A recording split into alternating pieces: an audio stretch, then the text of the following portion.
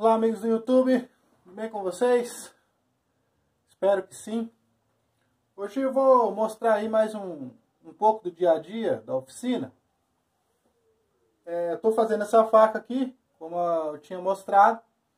Hoje eu vou fazer a fixação do cabo dela. Cabo Raiden tem, está tudo certinho. É, já foi feito na madeira, no bloco de madeira. Já foi feito o, o, o furo, né? Onde vai alojar a espiga. Já está tudo certinho. Perfeitamente ajustado. Sem frestas. Tudo certinho, tá? É, no meu vídeo, é, no meu vídeo não, no meu canal no YouTube, tem um, uma dica aí, onde eu uso esse, esse grampo aqui, onde eu fiz um rasgo né? Aqui, ó, que eu pego para para encaixar. Pego para encaixar aqui, ó. E aí é só apertar. E aí vai fixar o cabo, a cola vai secar e vai ficar tudo certinho. Beleza? É, tem um, um vídeo mostrando essa dica aí. Se vocês puderem dar uma curtida lá também, eu agradeço.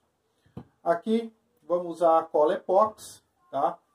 Uh, eu utilizo a cola da Redelize, tá? Essa marca aqui, ó. Esse é o endurecedor e esse é a resina. É, eu uso sempre uma balança de precisão, tá? É, acho que é melhor, faz a mistura perfeita, não gasta cola a mais e por aí vai. Use um copinho de café para fazer a mistura. Um palito de sorvete. Coloco o copinho, taro, né? tiro o peso dele, no caso, né? E aí eu venho e vou acrescentar a resina. Ah, Rodolfo, quanto que você faz de, de cola? Para uma faca desse porte aqui, eu, eu, eu vou fazer 10 gramas Aliás, vou fazer 11 gramas de cola. Vou fazer 11 gramas. Então, 5 de resina e 5 de endurecedor. É, aliás, 5,5 e 5,5. Para dar 11 gramas. É, eu sempre gosto de fazer um pouquinho a mais de cola. Por quê? Eu vou explicar para vocês depois aí. Vou colocar aqui, vou colocar com cuidado. Uh, eu uso a cola aqui, essa aqui é a primeira vez que eu estou usando. É a cola com seca, é, de seca, seca mais rápido. E é a primeira vez. Eu costumava usar a cola. Só, só um minutinho, pessoal, aqui, senão vai passar da medida aqui. Falando com vocês e medindo ao mesmo tempo. Então aqui já tá, já deu o, a medida correta. Vai lá, agora é só fazer a mistura. Eu sempre gosto de fazer um pouquinho a mais. Por quê? Eu deixo esse pouquinho a mais no copinho. E aí eu deixo o copinho de lado, né? Pra ele... E aí eu observo a cola lá no copinho.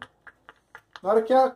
Na hora que eu vejo que a cola secou lá no copinho por completo, onde até eu posso tatear ela e ver realmente se ela tá dura completamente, bater, enfim. É... Aí eu vou ter uma, noção melhor de como está a cola dentro da espiga. Então, se secou aqui no copinho, secou lá na espiga também, e aí tá ok para eu passar para a usinagem do cabo e tudo mais.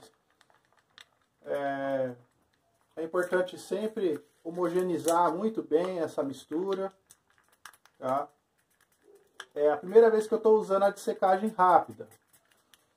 É, é secagem rápida, mas demora aí 8 horas praticamente. Então, é, é rápido e não é rápido, né? então, agora aqui é, é pegar e colocar aqui dentro, fixar a guarda, a guarda faca e fazer o procedimento de fixação. Bom, vamos lá. Espero que tá dando para ver aí, acho que tá, né? Eu coloquei a câmera num, outro módulo aí de, de, de... Agora eu escorro aqui dentro, ó. Ela fica bem líquida a cola.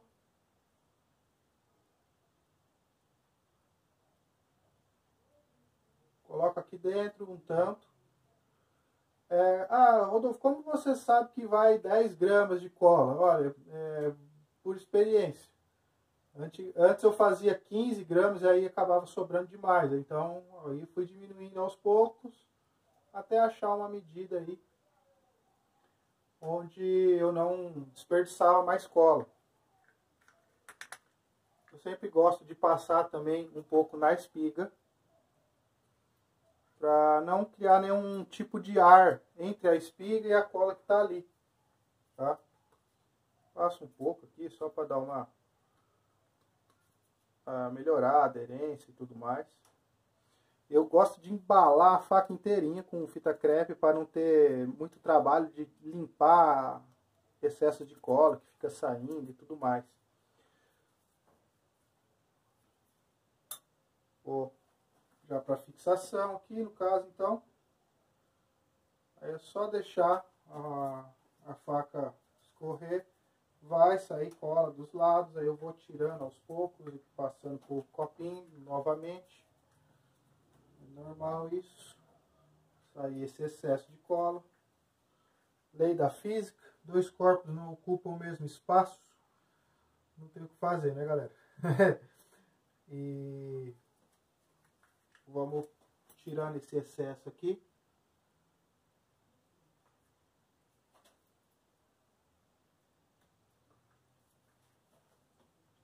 Deixo no copinho.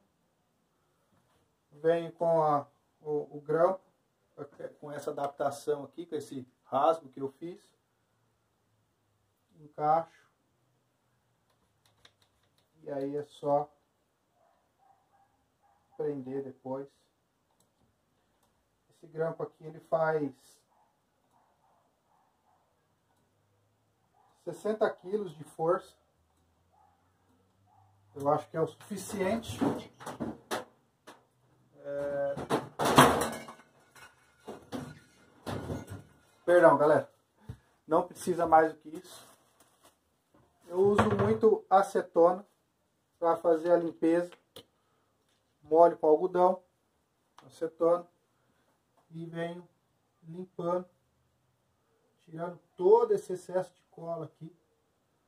Tirar isso aqui para eu poder observar como ficou o ajuste, está tudo ok mesmo está devendo alguma coisa ali, porque ainda, como a cola ainda não secou completamente, dá para a gente mexer. Né? Pelo que eu estou vendo aqui, tá tudo ok.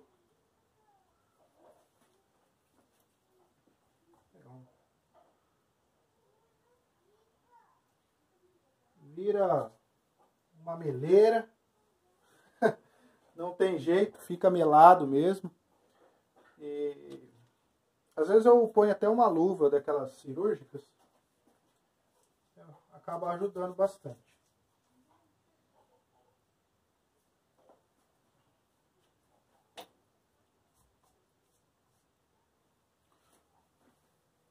Isso é muito importante fazer uma limpeza extremamente bem feita, galera para não ter nenhum tipo de problema depois na na fixação do cabo aí, às vezes colou torto.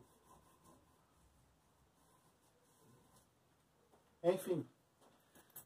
Então tá tudo muito bem ajustado aqui.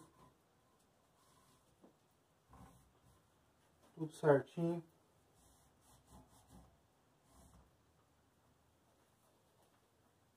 E aí, ó, só tirar, a faca tá fixada, não tem uma frestinha de luz passando aí no, entre a guarda e a, e a faca, o, cabo no caso. E agora só esperar secar. Eu gosto de deixar assim, secando de ponta cabeça. Tá? Mas aí fica a critério de, de vocês aí. Como eu disse, é, o copinho aqui sobrou um pouco de resina. Tá vendo lá? E ela já começou a endurecer um pouco. E agora eu vou observar aqui o copinho.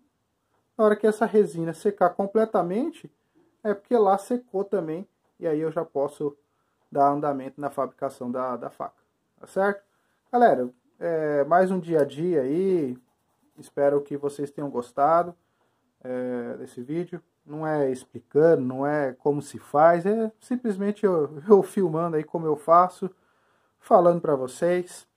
E espero que vocês tenham gostado aí. Vou fazer mais vídeos desse tipo, mostrando o dia a dia da oficina. Às vezes as pessoas têm um pouco de curiosidade, quer saber como que faz. Até mesmo os clientes meus aí, não necessariamente uh, cuteleiros que estão iniciando, né? E por aí vai. É... Aqui, galera, ó, a acetona eu uso muito na oficina. Uso para limpar as facas, uso para limpar a mão, né? nesses casos que cola, fica na mão, colada aqui. Enfim, é, é muito útil e ajuda demais nessa parte de limpeza, e por aí vai. Galera, um grande abraço a todos aí e até a próxima.